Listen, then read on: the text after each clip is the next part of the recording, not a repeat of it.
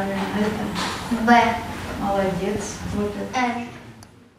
На сьогодні серед хвороб зору у дорослих найчастіше зустрічається катаракта та глаукома. За словами лікарів, на глаукому хворіють 70 мільйонів людей у світі. В Україні близько 200 тисяч, а у Дніпрі 7 тисяч людей. Та спеціалісти зазначають, це число насправді є більшим у два рази, адже багато пацієнтів займаються самолікуванням. Медпрацівники жаліються, люди вважають за краще піти та купити окуляри, аніж відвідати лікаря та знайти причину недуги.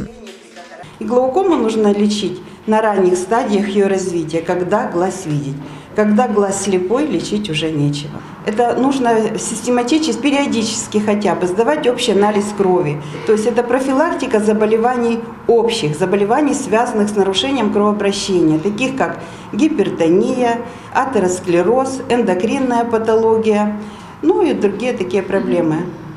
Валентина Васильівна працює вчителем вже більше 50 років. Саме через свою професію опинилася у лікарні. Каже, проблеми зі зором почалися багато років тому. Спочатку носила окуляри, а потім звернулася до лікарні. У жінки виявили катаракту обох очей. На сьогодні прооперували одне око, та вже завтра на неї чекає оперування іншого. Пані Валентина зізнається, боялася та дарма, адже процедура безболісна.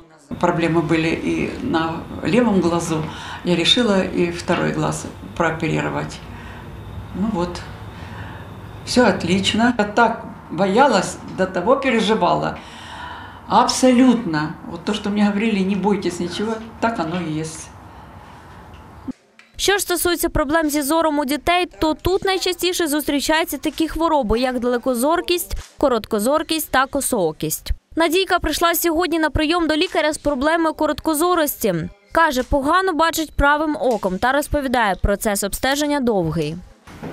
Мы читали буквы, это один э, правый глаз э, закрывали, это, а левым мы с- это от- э, смотрели и отвечали.